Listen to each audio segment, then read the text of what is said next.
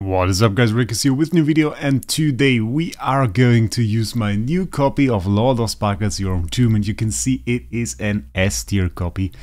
Actually got one, quite happy about that.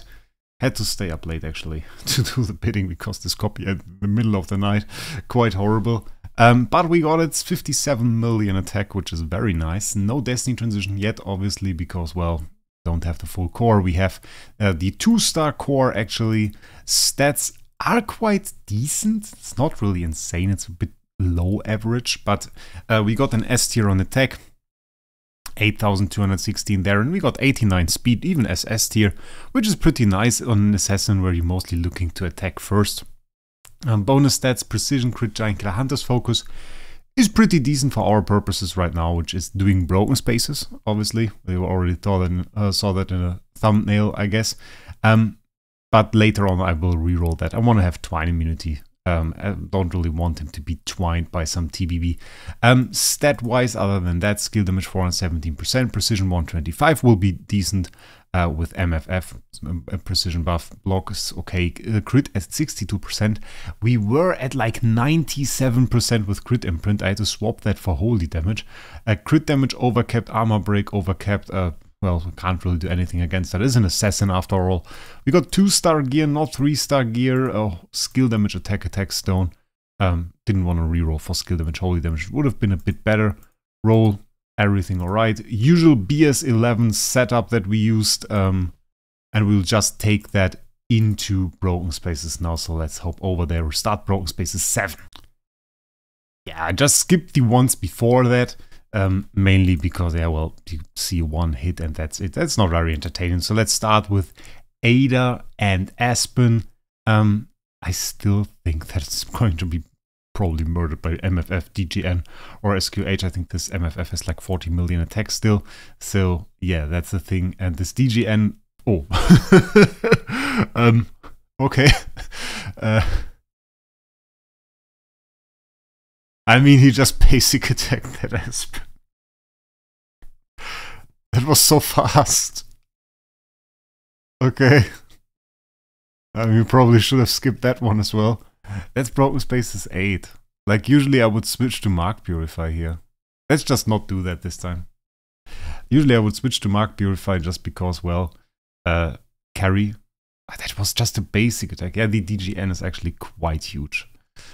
It's actually quite huge because she is the only real tenant that we have for... Ooh, very nice. The only real tenant that we have for Lord of Sparkles. Um, and therefore she has full soul power as well. He has full soul power as well. So uh, yeah, the, she also has quite some attack. I'm not quite sure exactly how much. Okay, um, Drake, Russell, I, I'm afraid it will look the same actually. I mean, we don't even have divine power on this guy. And he's doing mean things to them. On turn 1 and 2. This guy's dead turn 2. Like, like that's basically guaranteed. Yep, and he's gone.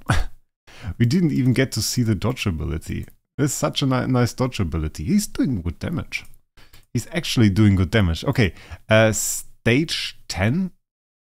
Um, I mean, like our positioning shouldn't matter anymore, considering we have a hero that is targeting by himself anyway. So let's let's just see what happens. I guess uh, he should attack lowest life as an assassin. So should probably work. I'm not quite sure if we can one-shot it.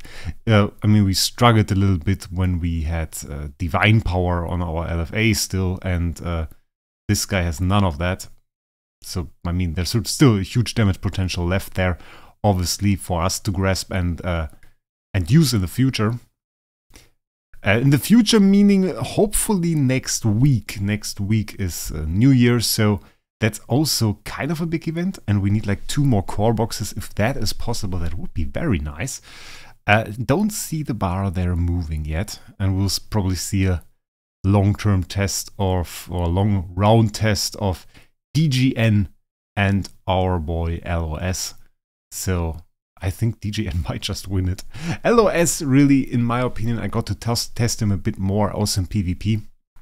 He is like the hero you want to use to punch through high defenses. He has a lot of passive damage even with his following up attacks every time a hero attacks. You can see it right there. He attacks, heals himself because we now actually have full sublimations on this guy.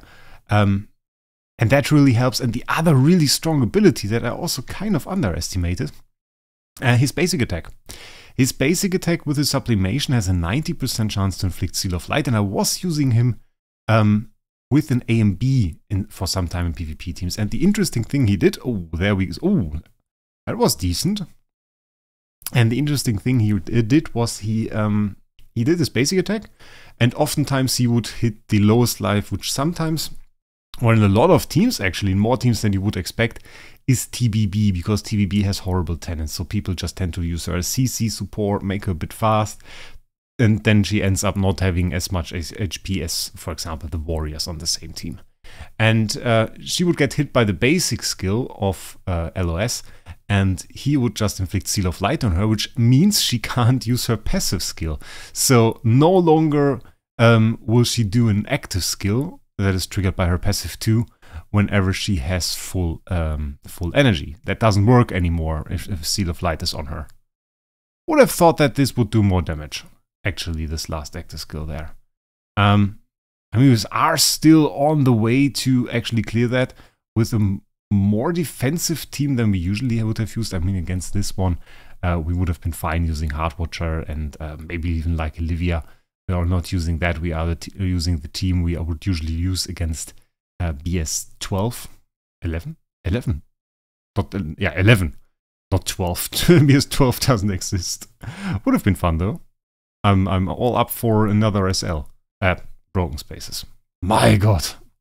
Um, so it looks like we will beat that, but looking at the damage numbers here and this hitting turn 13, I am pretty sure we are not going to beat um, Broken Spaces 11 then. It is, he did some pretty good damage. He honest, uh, I'm surprised he um, out damaged our DGN because DGN, she is really quite strong. She has a great role, Giant Killer, Defier, Crit, Fear Immunity is her role. Um, we have 9 Divine Power here on her, 0 Divine Power on our uh, LOS and he still did a ton of damage. Obviously, Endless Cane is on him, but, but still that's quite insane. Maybe we can check that out for a second. Um, there's actually the DGN. And she has 52 million. She's not a homeowner. 52 million attack, which is uh, a bit insane, obviously, in this case with flag. Uh, speed attack even. And yeah, just pretty nice. So I'm I'm I'm surprised he can do better than her because she definitely has the advantage in terms of stats. Um, do we have to change anything? I don't think so. I think we can just go into Broken Spaces 11, give it our best shot, and just try um, to beat it as swiftly as possible. Now, obviously, uh, lowest life will be attacked again. Is that even correct, or did we change that? I think we always attack the lowest life, yeah, which is the forces, so that's good. Um, let's hope our energy drain works correctly. Um, so far, so good. We, have, we are going to take a hit from that Vulcan, though. It's going to hurt. But I think we can take it. Hopefully we can. Ah, sometimes the damage is a bit delayed. Oh no, that, that looks alright. That looks alright. I, I'm expecting to not clear this forces within the 15 rounds, to be honest. Um, and we may even die a bit early on. The the good thing now is, um, and that is some an advantage that we usually didn't have with LFA, uh, LOS has dodge, so he can actually dodge the uh, basic attack from the forces. Maybe we should have put him in slot 1, giving him more ample opportunities to dodge, because the Vulcan obviously hits slot 1. Um, but dodging the basic skill, now thought, okay, the, the, the, oh, the uh, forces just decided to hit DGN instead. But he did hit the LOS before. No, now it's DGN. now he hits DGN. Okay, interesting. Apparently our highest attack hero has just swapped over to DGN, which is alright. I mean, saves our LOS from getting hit with the uh, all damage um, dealt reduction that um, the forces usually inflicts. Uh, which I wanted to say he could maybe even dodge. And now he gets hit again. it swapped again. That's quite interesting. But okay. Um, we are doing decent amount of damage now. At least we are doing visible damage. I mean, I mean that's a start. Um, and not getting. Ooh, okay, that was bad. There we had another active skill. I was hoping they changed the uh, Elena skill by now, but apparently normal Elena still tends to lose one or two rounds in a fight where you still get hit by an active skill. Can we beat this guy? If we can beat this guy, this is actually huge. I, I, I still don't think he will be the best PvE damage dealer. I still don't think so. I think he will have a spot in PvP where he will beat heroes with crown and heroes with high defenses and will punch through all of that, get a few nasty kills, will do some great stuff. I think I think he will still have to stand back behind LFA and other more capable damage dealers um, in PvE, especially in those boss fight situations. Um, but then again, I'm open to surprises. If we are going to see, like, for example, a, a very high Destiny um, LOS and he does very well, well, who am I to judge? I have an S tier now, so that would be pretty great. Last three rounds, really not that exciting. Um, not even close to beating this guy, honestly. Uh, that is less damage than I expected. It is pretty much exactly the same damage though that we did on the last stage. Just in that, in this case, the LOS, well, still did more than our DGN, but uh, not too much more actually. So not very exciting here in terms of damage. This is a bit like his cap, I think. Hmm. Let's smash one attack. Let's see how that changed to 68. So that wasn't even a whole lot. Let's do another one. 68 to, what do we have now? 58. So that was even less damage. We had some even worse attacks now. Mm, but we should now be at least close to killing this 4Cs. I don't know, seems to be not that super consistent at least. This 4C still alive. I mean, with some bad energy uh, drains by the uh, by the Elena, I, I can definitely see that work out to our disadvantage here. So I don't think they will be able... Oh, they can kill the... Oh! Actually killed the Elena.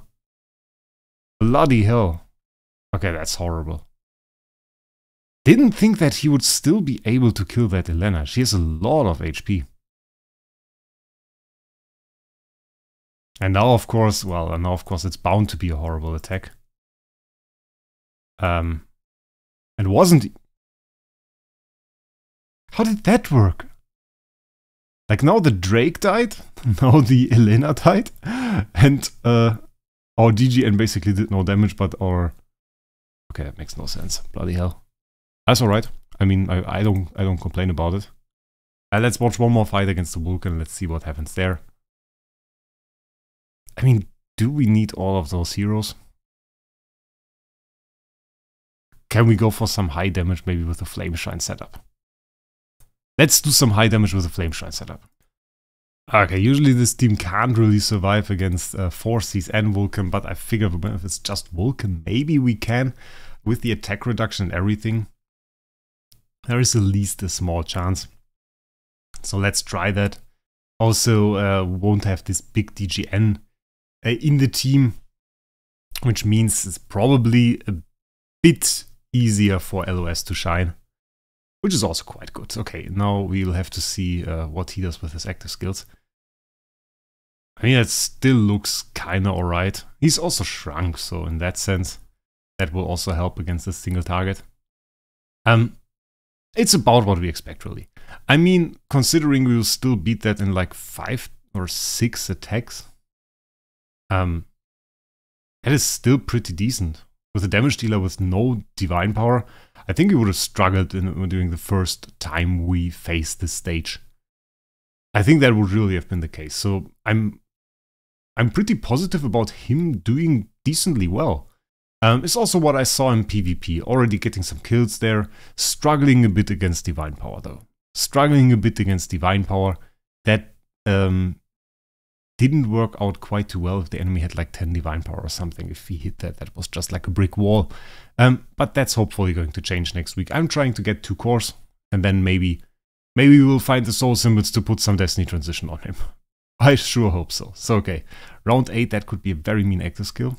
Um, wasn't quite that mean. Let's see if we can do some big damage here. Big damage turn next turn? Ah, probably after this active skill. Probably after the active skill we could have a good chance to do that again. I mean, if we dodge that, got this, um, got these stacks. Okay, now we have the stacks, that's good. Expected it a bit earlier, to be honest. Let's see how much damage we do. Turn 12. Not very, very exciting. Not very exciting. I would have expected way more damage, to be honest. Um, I don't know, on the later rounds where LFA really puts out 80% on, of his damage in the last two, three rounds, he's just not doing that. He's just there, okay, doing some damage. We have some scaling from the Endless Cane, but really not much more in that regard. And that is something that I I don't like really. Okay, we have a last we have a turn 15 round with monster and the buff and everything. And it's it's it's okay, but it's like it's not what you would expect. It's like the, the best circumstances that he could have had to deal damage there. And he has, he has Heartwatcher, he has Olivia now on the team, he has all the buffs that he can get. It's still not very exciting. So, I don't know. I don't know. Oh, I'm not very overwhelmed by this.